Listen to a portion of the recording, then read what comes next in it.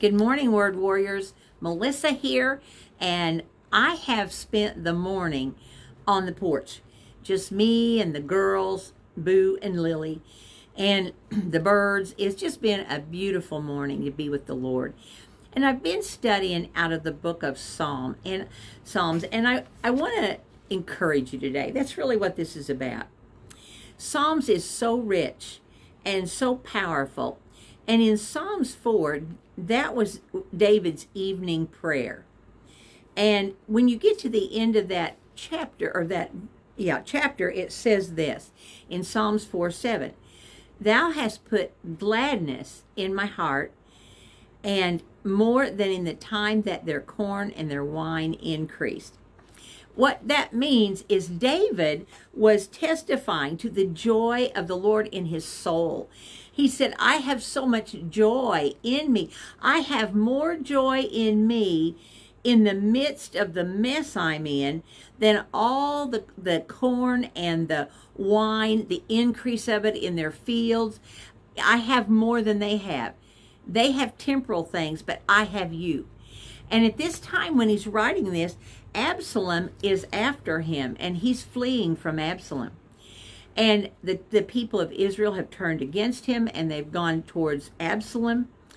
And so as you look at this, you think, you know, he said, I'm rich. I have you. I have the joy of the Lord coursing through me.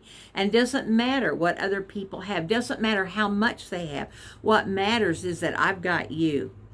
The word joy appears hundreds of times in the Bible. Joy, rejoice, rejoicing. Those words all mean the same thing. Now I want to encourage you for a minute. In Psalms 126, 5, it says, Those who sow with tears will reap with songs of joy. What are you going through today? Just remember, He's the one that brings joy out of every situation. Psalm 16, 11, you make known to me the path of life. You will fill me with joy in your presence and with eternal pleasures at your right hand. Fill me with joy. You want to know where the joy of the Lord is? It's in his presence. That's where it is. Psalm 71 23 says, My lips will shout for joy when I praise you. I, whom you have delivered. There is absolute joy and confidence in the Lord, and that's why he can have a, have a good night's sleep.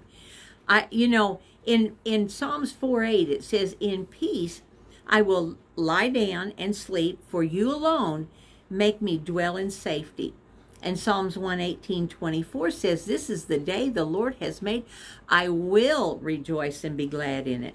I'm going to meddle just a little bit here you can always turn this off, but no, don't do that. Don't you touch that dial, that button. Don't do it. How many of you can say, boy, I slept good last night. I didn't have a care in the world, not a worry. Didn't think about anything, no turmoil, those million things that can eat at me. That, they didn't bother me last night. Do you know I just read somewhere that whatever we reflect on for the 30 minutes before we go to bed, and, and go to sleep is repeated seven to ten times during the night. It goes through our, our mind. So you need a clear mind. I need a clear mind.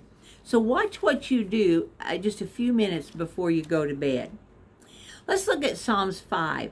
This is his morning prayer. And we read this a while back, or at least part of it, but I, I love the part he wakes up fresh and ready to meditate on the Lord. Just get out and be with the Lord. And it says this Give ear to my words, O Lord. Consider my meditation. In other words, consider the thoughts that are going through my mind. Hearken unto the, me, no, hearken unto the voice of my cry, my King, my God. Unto thee will I pray. My, jo- my voice shall you hear in the morning, O Lord. In the morning I will direct my prayer to you and I will look up. Remember me telling you that David set the day in order? That's so important that we set the day in order. I have found out that uh, probably after years of experience and the hard way is that if I have a lot to do and I start with God, not a problem. I get it all done. But if I do that first, not only do I not get with God at the end of the day because I'm too tired, but I don't really finish the things that God wanted me to do. See, David was preparing himself spiritually for battle. When you walk out that door in the morning, you're going into battle, whether you realize it or not.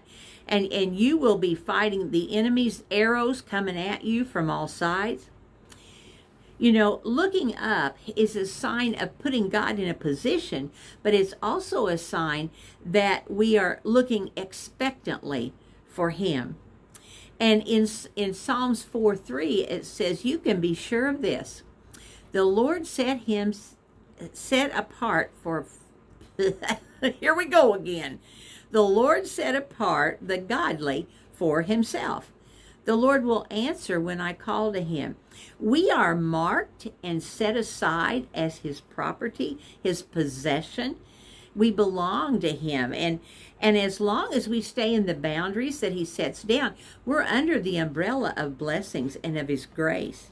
You may be wondering, what are the boundaries? Where I haven't seen any marks. Yes, you have. Yes, you have. God set down laws and commandments, and, and he said, I'm, I'm watching you because I want to keep you safe, and I want you to have the best possible life you can have. And in order to do that, you need to stay within the boundaries of those laws. You know, when you realize that God wants his absolute best for you, it's easy to fall in line. The blessings of God stay within the boundaries of God. And if you live in the goodness and are in right standing with God, he's just going to shower you with his goodness, his complete goodness. Psalms 27 13 said, I would have despaired unless I had believed that I would see the goodness of the Lord in the land of the living. It says God is good. It's not just what he does, he it's who he is. He is good and that goodness never changes. In Psalms 46, the psalmist says God is our refuge and strength, a very present help in time of trouble. And this is why we can say with absolute confidence God is good. He's a present help. He's not out there somewhere. He's not up there somewhere. He's right here with you right now. And as long as you're walking with God, His goodness will follow you all the days of your life. Psalms 23 6 says, Surely, good, that means absolutely, goodness and and mercy will follow me all the days of my life and I will dwell in the house of the Lord forever. There's nothing better than living in the will of God. So remember, expect God's goodness today. He's always taken you to a better place. It may not look like it, smell like it, or feel like it, but down the road, you're going to turn around and go, by golly, that was the best thing that ever happened to me. How's he do that? Because he has a plan and a purpose for every one of us. Amen?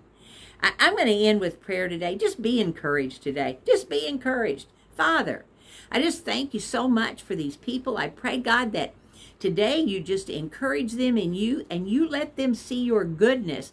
Open their eyes that you can they can see what all you're doing in their life.